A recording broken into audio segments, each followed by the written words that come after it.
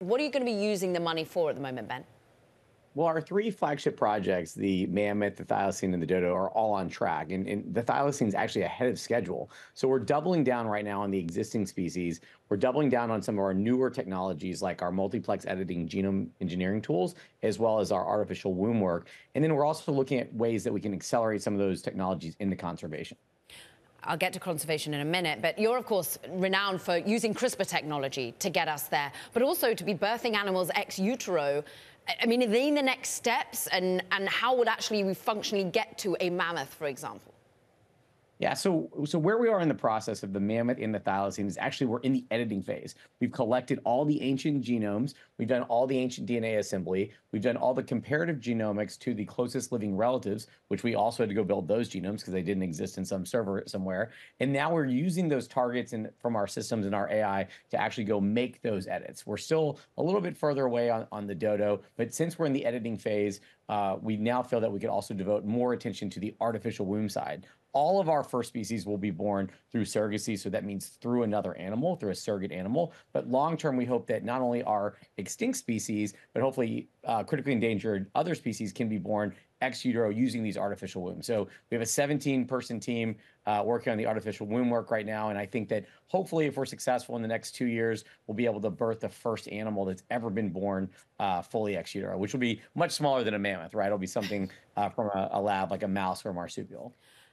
435 million is what you've raised so far, though. That's a lot for a 17 person team. Where is that money ultimately having to be best placed? I, am sure expenses are huge, but is it labs? Where is the real expense here?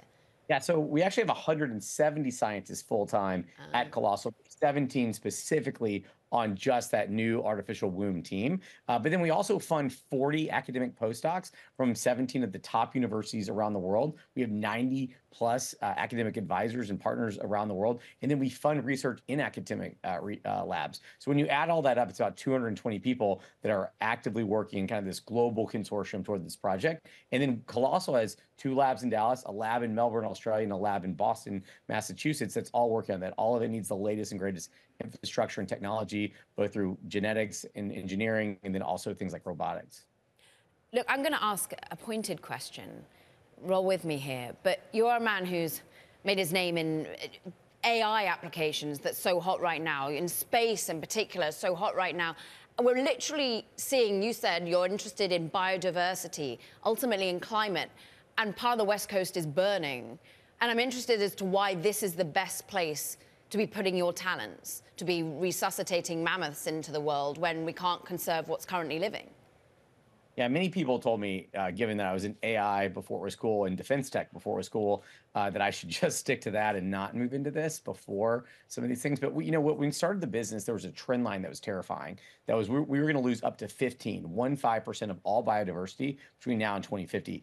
Fast forward a few years, that's been reforecasted by external scientists to 50 percent. 5-0. We are going to potentially lose up to 50% of all biodiversity between now and 2050. And so we know that modern conservation works, but it doesn't work at the speed at which we're eradicating species and changing the climate and changing the and changing the planet. So we need new tools against the fight of loss of biodiversity. And so I view it as we need a de-extinction toolkit. It'd be better to have a de-extinction toolkit and not need it than need a de-extinction toolkit and not have it. So I felt like this was probably the best place for me to spend, you know, the next decade or so of my life. Well said. How many people are on that journey from a VC perspective? TWG Global, was it easy to get more people to commit?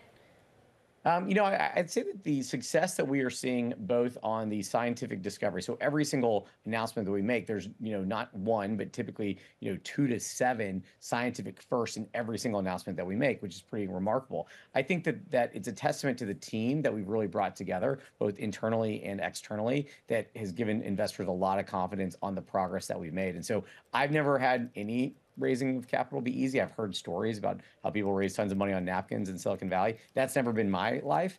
Um, but no, I think that that we've had tremendous support from you know Mark Walter and Thomas Tull and others uh, that have been uh, involved in the business for quite some time.